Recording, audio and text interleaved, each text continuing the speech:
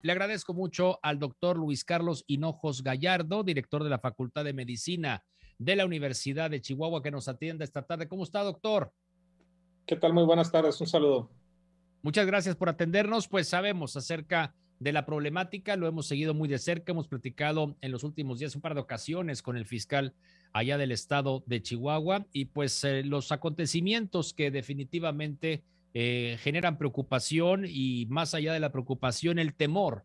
Sabemos de algunos pasantes de medicina que pues simple y sencillamente y con justa razón dicen, pues por favor, no nos manden a las zonas de riesgo. Sí, es correcto. Eh, algunos eh, estudiantes de medicina que van a iniciar su año de servicio social, pues se manifestaron aquí en la facultad, en la universidad, junto con sus padres, solicitando que se reubicaran sus plazas en servicio social que les habían sido asignadas, ya que consideraban que eran pues áreas de riesgo y, tienen temor de ir a esas, a esas áreas. Hay que recordar que estos estudiantes pues van un año a presentar sus servicios sociales, la última parte de la carrera de medicina.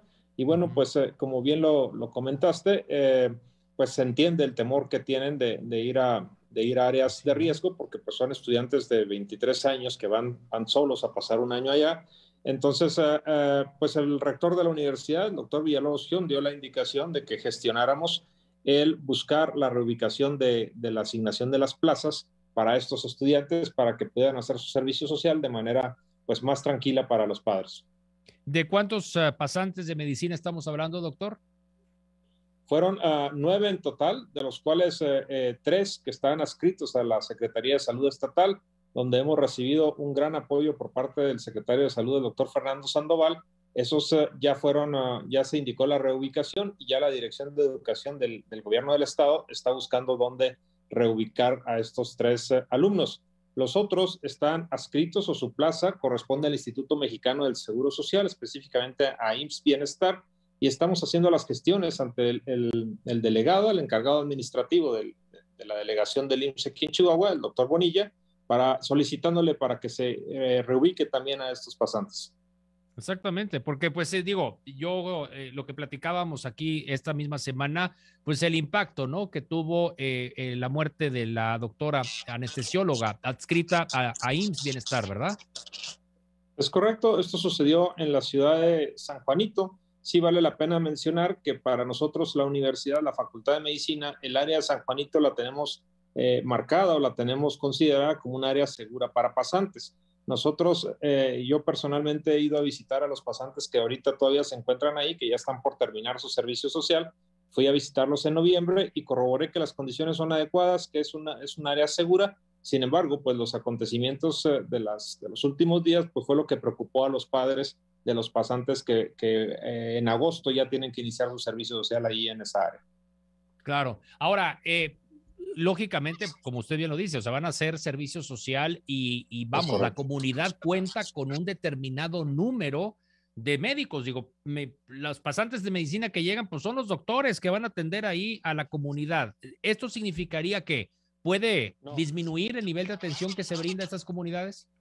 No, de ninguna manera. Sí es importante recalcar eso. Estos estudiantes de medicina en servicio social eh, van a dar un apoyo al personal médico que se encuentra ahí. Es decir, el hospital de, San Juanito, las clínicas que están ahí tienen su personal de base. Sí es importante hacer diferenciación entre el estudiante de medicina que va a presentar un apoyo al, al, personal médico de base, que esos hasta donde yo tengo conocimiento, nadie ha pedido moverse son personal que eh, la mayoría son incluso oriundos de la, zona y eso no cambia, de tal forma que no va a cambiar, aunque es cierto que el personal becario, en este caso los médicos pasantes o los estudiantes de medicina en su servicio social, son un apoyo fuerte para el hospital, no depende la atención médica directamente de ellos. Entonces, eh, el hecho de que ellos no se presenten ahí no va a demeritar la atención médica que se da por el personal de base. Eso es importante recalcar.